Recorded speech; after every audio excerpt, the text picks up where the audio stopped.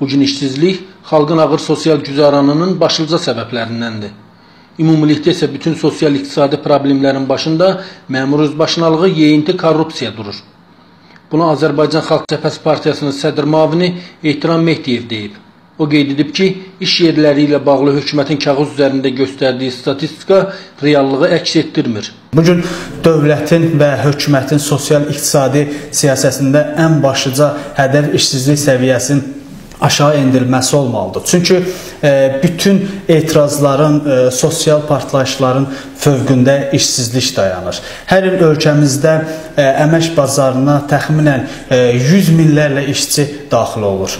E, lakin onların çox az hissəsi müvafiq iş yerləri ilə təmin edilir. İşlər isə davamlı və e, bir ailənin dolanışığına kifayət etmir. Təklif edilən işlərdə əmək haqqı 200-300 manat göstərir. Baxın, bu maaşlar indiki qiymətlərlə nəinki bir ailə, heç bir e, insan e, özünü dolandıra bilməz. Soyuq e, e, bilmədən, isti bilmədən yol kənarlarında qurulan əmək bazarları bazarlarında iş e, gözləyənlər gözləyən insanlar fəryad edir, iş istəyirlər. Hökumət isə e, statistik rəqəmlərlə xalqı e, aldatmağa çalışır. Hökumət statistika ilə baş allatmaqdansa əməli iş görməlidir, deyən Sadr müavini əlavə edib ki, məmurların oğurladıqları pullarla ölkədə işsizlik problemini aradan qaldırmaq olar.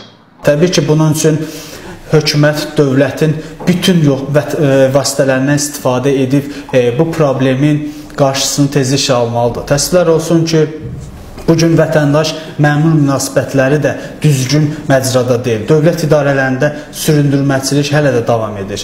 E, bunun qarşısı asan xidmət vasitəsilə müəyyən qədər alınsa da bəzi sahələrdə vətəndaş e, problemlərinin aradan qaldırılması üçün e, uzun zaman get-gələ salınır.